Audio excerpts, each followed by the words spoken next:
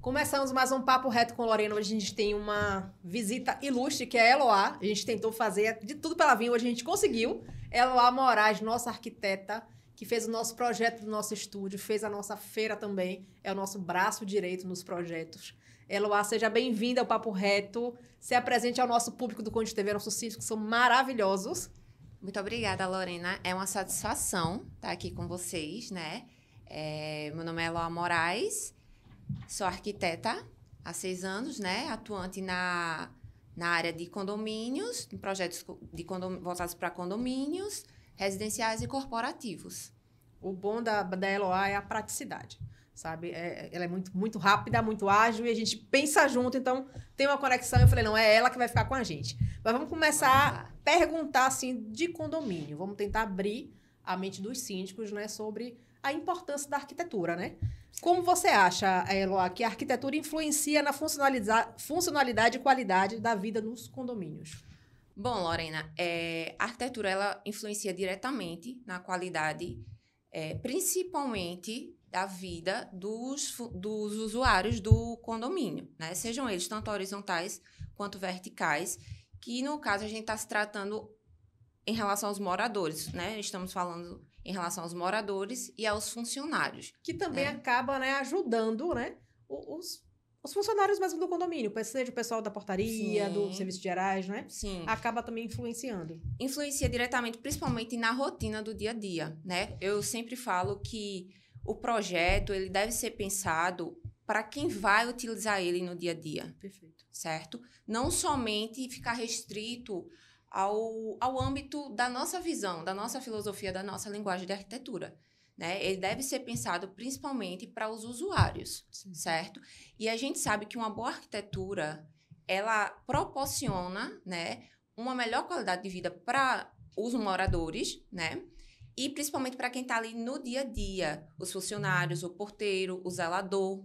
E me conte assim, quais são as tendências mais recentes no segmento condominial assim? Como elas impactam na sustentabilidade? Tem alguma coisa assim nova do mercado que que você veja não, isso aqui é tendência? Olha, o que hoje, na verdade, é uma tendência que já segue há anos, né? E não não é uma coisa que é vista para os próximos anos também é tudo que é voltado para a parte sustentável. Certo. Não tem como você direcionar para outra coisa, né? Eu acho que cada ano que vai se passando, a preocupação em relação à eficiência, né? É, tanto energética quanto também na questão do reuso, por exemplo, da, da água dos condomínios, né? Uma forma mais inteligente de fazer a questão dos resíduos, tanto a coleta seletiva quanto a parte de reciclagem, tudo que é voltado para a sustentabilidade. E a gente vê que hoje não tem muito, no, tipo, nos condomínios mais do sul, já existe essa Exatamente. parte, né? Aqui a gente ainda não vem, não vê muito, né, Lu, aqui no Nordeste. Sim.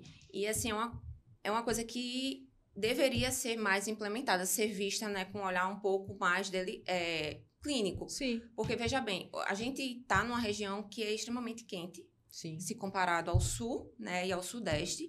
Então, por exemplo, a, o uso da água é bem mais constante Sim. do que naquela, re, naquela região, né? Então, saber ou proporcionar formas de fazer esse reuso, por exemplo, é, você que trabalha com a parte de piscina, como Sim. é que a gente pode fazer para protelar um pouco a questão das manutenções, da da limpeza mesmo da piscina em relação aos produtos, quais são os produtos no mercado que a gente pode utilizar, né? A questão do uso geral em pilotis, em garagem, como é que a gente pode fazer para utilizar as águas frias, né, que a gente chama dessas áreas, por exemplo, salão de festa, para uma lavagem de um pilotis, para lavagem da parte da, da garagem. Tudo isso entra na arquitetura. Tudo isso entra. É, é muito, é isso um mundo, já né? pode ser planejado, já pode ser é, especificado, tá? Na entrega do projeto executivo. Inclusive, né, existem selos hoje, né, como do Procel, que são selos de eficiência energética e tudo está vinculado. Todas a questão do reuso da água, a questão da reciclagem, a questão, por exemplo, de placas solares na parte da coberta, né? Que vai, elas são destinadas para quê? Para justamente as áreas comuns. É, salão de festa, pilotis, garagem, portaria. Hoje a gente tem, no, no que é tendência também no, no, nos condomínios hoje em dia, o espaço pet, espaço é o salão de beleza, é, um espaço para o mercadinho autônomo, né? Como é que você Sim, dentro do próprio Como é que você vê isso, essa, essas esses espaços, né? Que tem condomínios que conseguem ter, que já vem, né? Que já entrega, Sim. e outros não, que estão querendo, né? Inovar, né? Isso. né? É, veja bem, com o advento da pandemia, houve uma mudança, né? A gente percebe, a gente que é do, da área, houve uma mudança muito drástica. Por quê? Voltou-se o olhar para a morada. Sim. Tá? Então, não teve como as famílias não começarem a se adaptar e, consequentemente, as construtoras, certo? Essa questão do espaço pet, a quantidade de pessoas hoje que têm um animal em casa, né, às vezes optam em não ter filhos e não, né? Então, quase todo mundo hoje tem um, ou um gato, um cachorro. E isso faz com que haja uma maior, como é que eu posso falar? Um maior pertencimento. Eu acho que a palavra é essa, um maior pertencimento. Até porque aquele, é aquele é o seu local de morada, tá? Mesmo que não seja uma casa, é um condomínio multifamiliar, tá? Mas para agregar esse pertencimento ao morador. Então, o cowork, por exemplo, quantas pessoas não deixaram, né, de trabalhar em empresas e se voltaram mais para o trabalho home office. E muitos condomínios já estão aderindo nas suas propostas de projeto um espaço voltado para o cowork. De que forma, Elo? A, a, a, eu tô, você está falando aqui, tá, tá na minha cabeça assim, várias formas de, de benefício que a arquitetura vem para o condomínio, né? Sim. É, e de que forma você acha que a arquitetura, um projeto um, para um condomínio, pode melhorar a convivência dos condôminos? Veja bem, quando a gente introduz no, no espaço de condomínio multifamiliar, que, querendo ou não, ele tem uma certa segregação, apesar de ser uma comunidade, é, quando a gente olha por um olhar que cada um tá ali no seu dia a dia, na sua rotina, chega em casa, fecha a porta, né? Cada um no seu mundinho. Cada um no seu mundinho, né? E existe uma diferença, sim, do condomínio, por exemplo, vertical para o horizontal, né? Da casa para o apartamento. Quando você introduz espaços de convivência, né? Num condomínio, por exemplo, vertical, a, a possibilidade dessa interação social, ela aumenta, né? Seja um espaço voltado para as crianças, sim. né? Que eu, particularmente, eu acho que é algo que deveria ter um olhar com mais cuidado para as crianças que passam o dia, né? Geralmente em casa, os pais saem para trabalhar. Que não tem, na maioria das vezes não, não tem. Não tem. É aquele. Quando se tem uma brinquedoteca, é aquela brinquedoteca muito restrita, restrita, entendeu?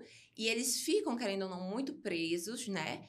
Um espaço, por exemplo, um, um salão de festa um pouco mais aprimorado, Sim. né? Uma área de lazer também um pouco mais aprimorada, que dê para realmente haver essa convivência social, né? Entendi. Que acaba com o dia a dia, com a rotina e muitas vezes com o não ter no projeto, no, na execução, se é aquele negócio muito mínimo ali, Sim.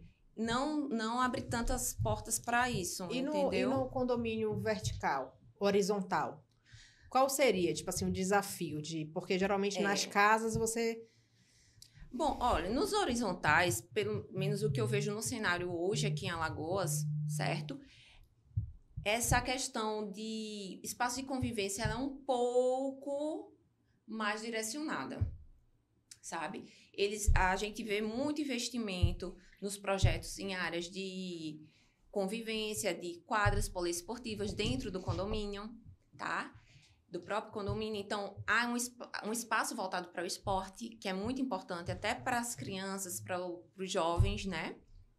É, áreas de lazer que são mais bem desenvolvidas, que abrange um número maior também de pessoas, porque você vê, percebe que no edifício vertical, as áreas de lazer, geralmente, elas não têm um, um, uma área muito abrangente. Não tem espaço, não na tem verdade. espaço.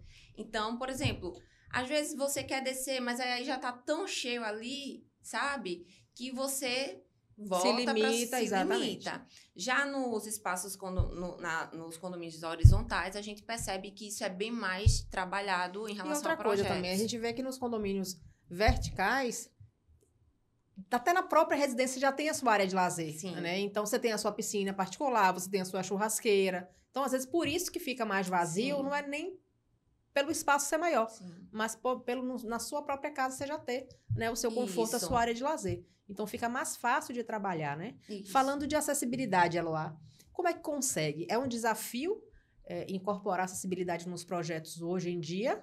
É, Porque eu não sei se tem alguma lei, se tem alguém que regulamenta isso. Como é que vocês conseguem fazer? Né? Porque hoje a gente tem idosos nos- nos condomínios, a gente tem né, pessoas com, Sim. com dificuldade de locomoção.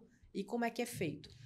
Olha, geralmente, é, quando vamos trabalhar com condomínios verticais, vamos, vamos pontuar os verticais, tá? Depois a gente fala um pouquinho sobre os horizontais. Em Marcial, especificamente, ainda existe um número muito grande de condomínios antigos, Sim. que hoje estão passando por uma revitalização. E a gente consegue observar que nesses condomínios não há acessibilidade, né? Existe sim, né, uma norma técnica que a gente, quando vai elaborar projetos no nosso escritório, precisamos seguir, né? Que é a NBR 9050, que ela é voltada para a questão de acessibilidade, tanto em ambientes públicos quanto residenciais, né?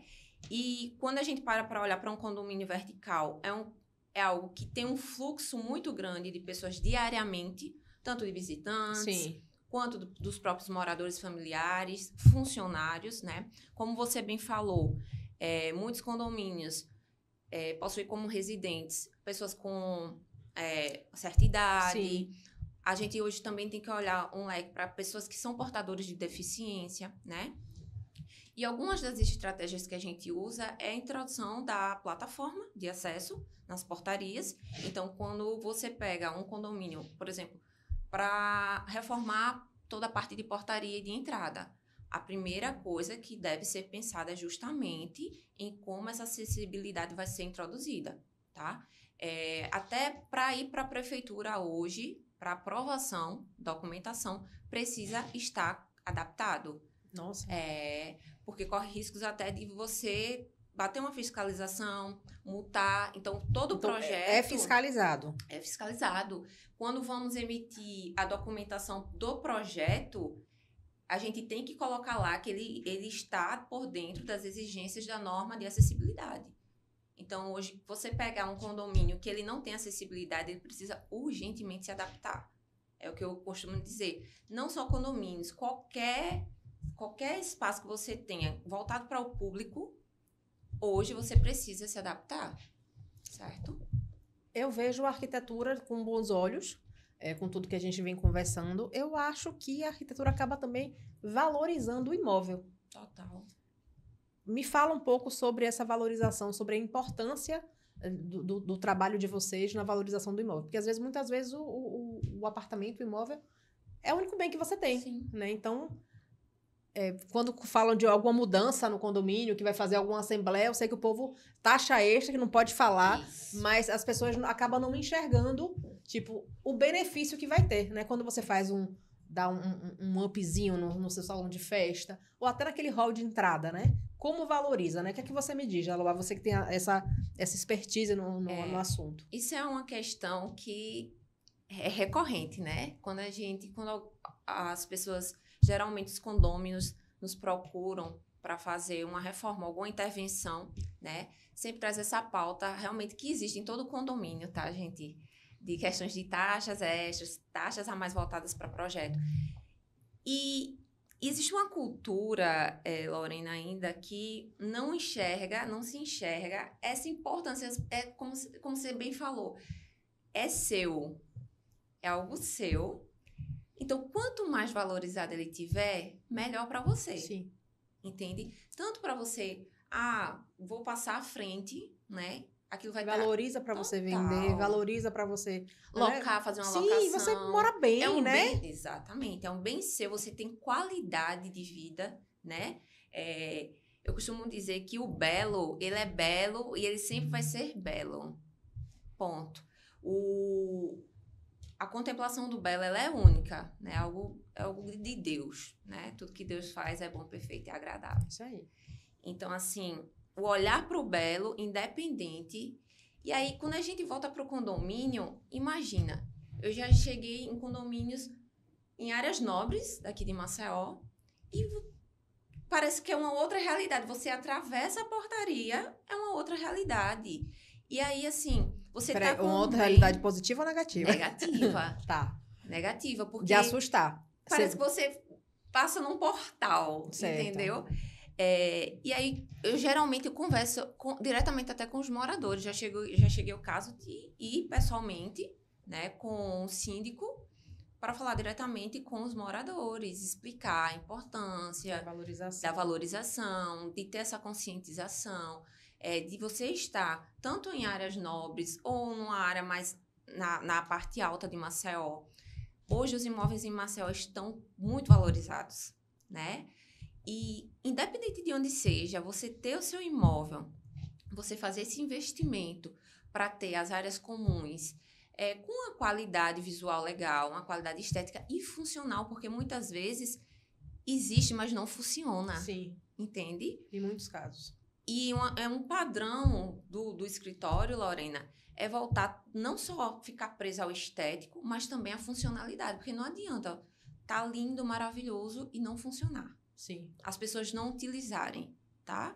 É, então, assim, a gente tenta agregar os dois e mostrar essa importância para o cliente, para os condôminos, para os moradores, para os síndicos que nos procuram, tá entendendo? Vem uma, uma dúvida agora de, de Tabaroa, tá, gente? É porque, como eu viajo muito, e às vezes eu vou no Uber e vou olhando assim, lá em São Paulo mesmo, que é, é minha referência, e eu vejo muito no, nos prédios aquela, aquele paredão de, de, de de verde, né? De, de, plantas. Eu fico, como é que...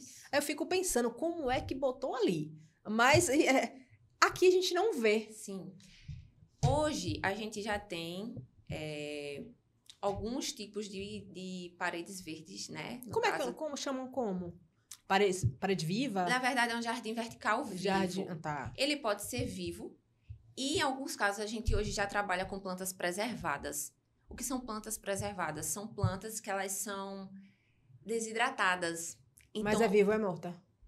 São plantas naturais desidratadas. É como tá. se elas estivessem mortas, mas não chega a ser artificial. Entendi. Entende? Mas ela precisa de cuidado, de água? Bem de... menos. Bem Entendi. menos que a natural. Então, a depender de onde ele está sendo locado no projeto, por exemplo, em uma área coberta, geralmente a gente não trabalha com o jardim vertical preservado em áreas que vão receber algum, algum tipo de interpérie. Por exemplo, chuva direta, um vento muito agressivo. Então, se ele tiver numa área coberta, ou, por exemplo, a gente tiver uma cobertura que saque na fachada, que dessa proteção a gente já consegue usar o jardim preservado, tá? Que legal. É, é mais caro? É um pouco. É um pouco mais, mais oneroso. Mas, assim, é uma opção interessante. Sim, sim. A manutenção diminui drasticamente. Então já acaba vindo na, na economia, né? Tipo, Com você certeza. manutenção, você não tem a, o uso da água também, da irrigação, Sim. né? Porque quando a gente vai para o jardim vertical natural, a gente precisa ter todo um sistema de irrigação instalada nele próprio, principalmente quando a gente tem esses paredões. Né? Porque não vai ter como alguém subir ali. Eu empresa... tava pensando já alguém naquele elevadorzinho, naquela cadeirinha, puf, molhando tudo. Não. É, é um processo. Ele, ele fica todo embutido. Toda a parte do sistema de irrigação ele fica todo embutido por é, trás. É o investimento, né, que faz. Demais. Eu vi que tem, tem, tem prédios comerciais lá que no, no terraço tem horta. Sim. Gente, a gente não vê isso aqui. Sim. Isso é muito interessante, porque você traz.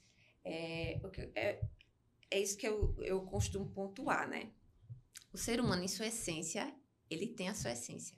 Isso é epigenética, né? A gente é totalmente ligada ao natural. Não adianta, pode vir as modernidades, né? O ser humano ele precisa desse contato com o natural, né? Com a sua essência. É, e quando a gente vai para condomínio vertical, principalmente não agora, porque a gente já está tentando mudar isso né, no cenário, mas a gente restringia esse acesso, né? Então, o que a gente vê hoje é que essa preocupação, né, ela está sendo olhada de outra forma e em São Paulo mesmo, que é um mundo, né, é tudo que é atual, tecnológico, tá lá em São Paulo. É, inclusive, é uma cidade modelo em, em várias, várias questões, né? A gente já se depara com esse tipo de construção mais atual, mais sustentável, né? Mas é, que contempla mais essa questão natural, que traz isso para os moradores, né? E a qualidade de vida muda totalmente. Porque quando eu introduzo verde num, num condomínio vertical, o ar em si muda. Há uma produção né, de dióxido de carbono que muda a, a atmosfera de qualquer local que tenha o verde. Quando a gente tira isso, também muda para pior, Sim. certo? Isso interfere na saúde dos moradores, Sim. Saúde física, saúde mental, que hoje é o, né, o grande ponto das Sim. pessoas adoecendo, né? E aí você, querendo ou não, quando você, se, você trata de economia vertical, você fica ali isolado, né? Você perde essa, essa interação com, com o externo. Então, trazer isso para dentro já muda totalmente a esse, rotina dinâmica. Esse espaço da, da horta acaba virando até um espaço de convivência, Sim. né? Se, se fizesse pegar, fazer um projeto legal, né? Pegar um, um arquiteto legal e fazer eu acho que ali já cria, né, um, um espaço para a hora Com do certeza. almoço, né? Com certeza. Hum. E agora imagina, vamos, eh, vamos sair da caixinha um pouquinho, né? Que a gente, muitas vezes a gente fica limitado achando que só, ah, a maioria das pessoas são, são jovens, casais, com filhos, mas imagina um idoso que muitas vezes já está ali aposentado, no seu canto, uma horta, um contato com o verde, um contato maior. Não precisa nem tanto espaço, né, para isso. Não. A dinâmica muda. Aqui em Maceió a gente tem muito isso. Muitos idosos que estão morando é, em condomínios verticais, em apartamentos. Sozinhos. Sozinhos. E aí você vê é, a, a chega uma etapa da vida do ser humano que ele precisa, se a gente já precisa interagir, né? Quanto mais idoso você vai ficando, mais há essa necessidade, porque vai batendo mais a questão da solidão, né? E aí, quando você introduz isso, eles precisam se movimentar, eles precisam se sentir úteis né? Que muitas vezes isso não, não existe. Então, pronto, vamos lançar aqui agora. Síndicos, façam Vamos horta lá. no seu condomínio. Vamos lá. Vamos interagir esse, o idoso, porque aqui em Maceió a gente tem hashtag Tenildo Lopes, né? Lá a gente não vai ter, então vamos fazer uma horta comunitária para que... tem como. Legal demais. Tem como, Lorena. Tem como. Tem muitos condomínios que você vê que tem espaço, tem área que dá para fazer um trabalho legal, área comum, entendeu? Sim, perfeito. É, a gente, infelizmente, né? É, a gente tem que terminar programa, porque a gente. Ah. É, é, como quando começa a engatar aqui o negócio, a gente acaba, mas é, mas é, bom para ficar já para segundo bloco, entendeu? Pra gente já pensar Exatamente. e já fazer um segundo programa. Exatamente. Infelizmente está chegando no final, o papo é bom, mas é bom que fica para o segundo bloco, a gente marca um novo programa. Elo, obrigado por ter ficado com a gente, por Eu ter aceitado agradeço, esse convite. Lorena. Se despeça do nosso público. Muito obrigada a todos que estão nos vendo, né? Todos os telespectadores. Foi uma enorme satisfação, Lorena. Eu que te agradeço, tá? É essa troca, né, que é muito edificante, muito sempre, né, sempre partilhar e sempre aprender um com o outro. Né? Eloá que trabalha já com a gente, né, já no, no, no, no, estúdio, já, já trabalha nos nossos eventos, a gente não larga mais não, mas você Vamos fica lá. ligadinho toda segunda-feira, um vídeo novo no canal às 12 horas, e lembrando que esse vídeo é de oferecimento da Senal Elevadores e Live Portaria Remota.